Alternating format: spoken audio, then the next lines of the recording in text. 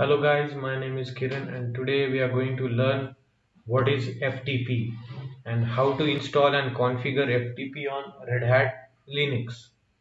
Okay, so let's get started guys. So what is FTP? FTP is an file transfer protocol. FTP is a standard internet protocol for transmitting files between computers on the internet over TCP IP connections. FTP is a client server protocol where a client will ask for file and a local or remote server will provide it. The end user's machine is typically called a local host machine which is connected via internet to the remote host which is the second machine running the FTP client software. So how to install and configure the FTP on Red Hat Linux, Red Hat Enterprise Linux. So I am going to show you practically how to install and configure FTP on Red Hat Enterprise Linux. So let's get started. So this is the Red Hat Linux server 7.7. This is the host name of the server, right? And this is the IP address. So very first thing for uh, the FTP is to install the packages. So we install the FTP packages using yum Yellowdog updater modifier. So yum install vsftpd star hyphen y. Press enter. So vsftpd star will uh, detect all the dependencies and libraries which are required as a prerequisite for this package resolve the dependencies and install the package. So package is now installed. Now the thing is we need to restart the vsftpd service. So systemctl restart vsftpd systemctl status vsftpd so the service is restarted and, and it is in active and running state. Now we need to enable the service. So systemctl enable vsftpd so systemctl enable vsftpd press enter. This command will enable the vsftpd or ftp service for after the reboot. Okay. So now uh, now packages are installed. Vsftpd service is, is up and running. Now this is the time for default location at which all the files are stored for sharing. So uh, which is the default location? It is uh, var ftp pub. So let's go to that folder. Cd slash var ftp pub. Okay? So i will do ls hyphen ltr over here. Total files pre present at this location are 0 so this is the default location at which all the files are stored which we are going to share using ftp right? So what i will do i will copy uh, some of the files from slash tmp ftp files from this location to the current location okay? Cp hyphen r.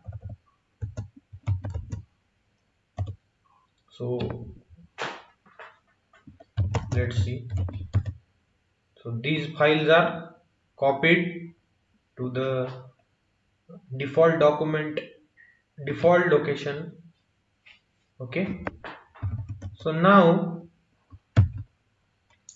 now we need to manage a firewall for vsftpd service. So for that systemctl restart firewall firewall d. Hmm?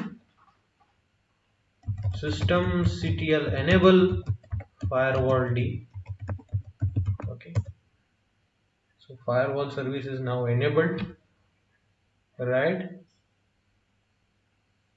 now using firewall d hyphen cmd hmm, hyphen hyphen add service. Which service? Service is equal to ftp hyphen hyphen permanent.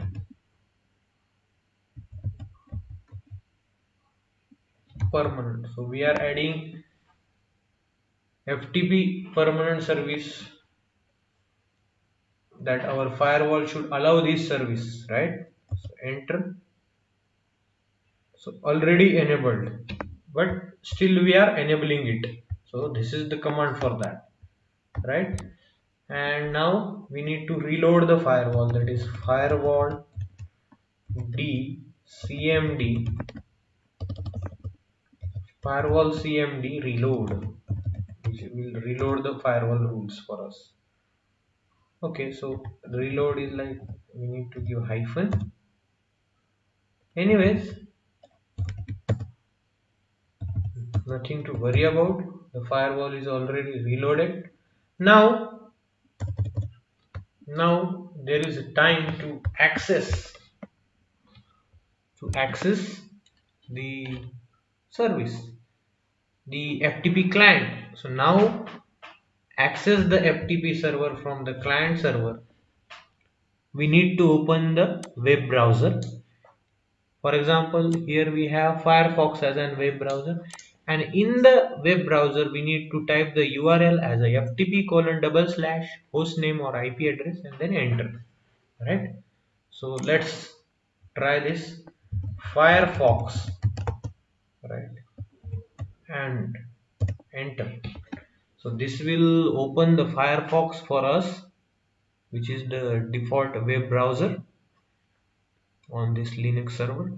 So it is open now. So let's let's try something like uh, see. Um, FTP what is the syntax for that ftp colon double slash and then host name. So what is the host name for this? The host name is h-o-s-t-n-a-m-e host name. Or ip address h-o-s-t-n-a-m-e hyphen i. So let's use ip address here. So i'm copying this ip address from here. And just go right ftp colon double slash and IP address of FTP server and just press enter. See, uh, so index of FTP 10.209.111.143 this is the IP address of our FTP server and we can access this FTP server anonymously from any of the client FTP client server which is in the network because we have the we have done the anonymous installation so in public folder there are different files which we have already copied right? So let's go to any eula zh you can download. So eula.pdf if you click on that it will get downloaded. So so this is the pdf right so right. So thank you. Please like share and subscribe. And do let me know if you have any doubts in the comment section. Thank you. Thank you so much